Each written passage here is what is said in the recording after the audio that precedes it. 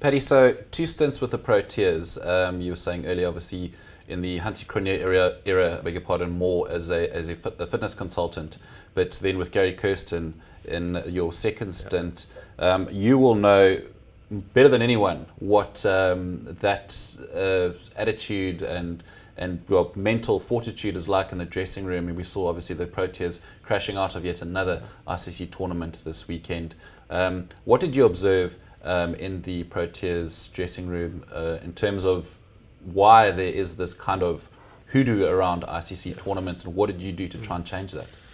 Well, it's difficult to say what happened in the dressing room now in the recent uh, mm. ICC uh, tournament. But certainly when Gary and Kirsten and myself were with the team, uh, we had a uh, Champions Trophy together and we had a T20 World mm. Cup together. And our approach was to really address the concept of choker, um, what is the impact on each individual, to really open up that wound, to try and clean it out per se, to face it, to be honest about it, to address it, to make it okay to acknowledge that in high pressure moments I tend to shut down or my brain gets a little bit too mm. busy or whatever it might be. But we try to take the real face your fears approach and be mm. really honest, be really authentic about it. Um, it didn't work in terms of results. I think in terms of players' comfort levels around that. The players who are more comfortable to be open and honest and vulnerable, I think they found some relief in that. Mm. There's it's, it very much is a South African male thing where we like to be tough. Cowboys don't cry, don't show vulnerabilities, don't show weaknesses, which I think is completely inauthentic. I think it puts more pressure than anything else.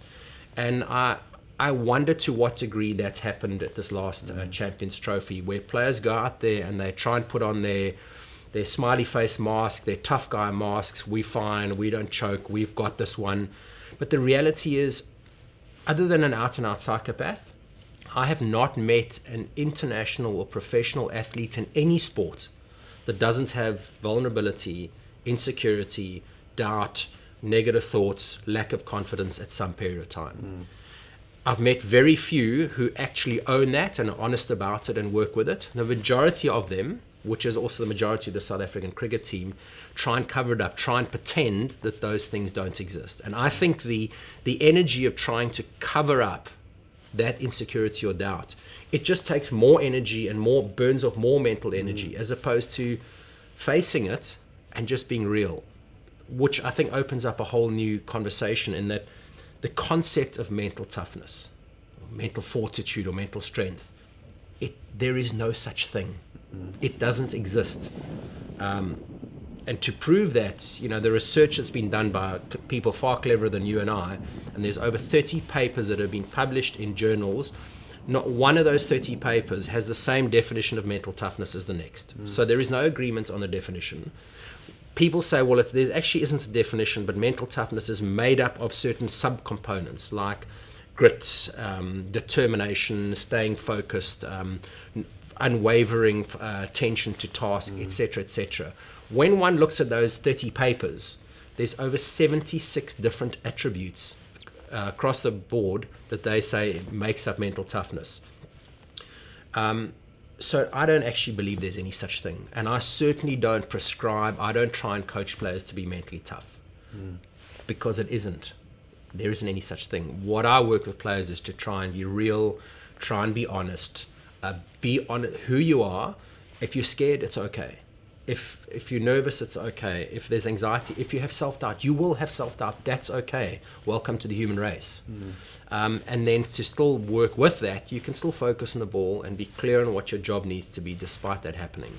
But the problem is, coaches, sports psychologists, they wanting players and they judge players positively if they perceive to be mentally strong or mentally tough, and if they have any vulnerabilities or they're not mentally tough they're labeled as mentally soft, mentally mm. fragile, mentally weak, and that is career limiting. So players don't ever own up to that because mm. they know it's going to it's negatively judged and I'll probably be dropped. The reality, every one of those coaches, if they played, they know they had those mental fragilities. Mm. So we've got this huge myth that we're perpetuating. Um, it doesn't exist. And mm. as soon as I, I, think the South African cricket team as well, just own what you're feeling, own what's going on. It's okay. If I go back to sort of what, one of the real peaks for me in a in a way. It was a small peak, but it was uh, when South Africa in 2012 was going on to play a Test match against England, which would have had us had us win the Test Mace and become the number one Test team in the world. And on morning two, when the team got together in the huddle, and Graeme Smith had a chat, and he said, "Guys, how are we feeling today?" And AB de Villiers said, "You know what? I'm actually quite nervous." And when he said that, the whole team, there was just sort of like this decrease in pressure. It's like, mm. wow. So AB's nervous. It gives me permission to actually express and feel what I'm feeling because I think we were all nervous. Mm. But he was able to be real in that tough mm. guy environment. And we try to bring as much of that realness in as possible.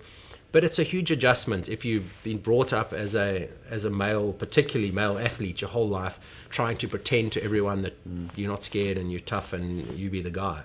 But we know it's not true.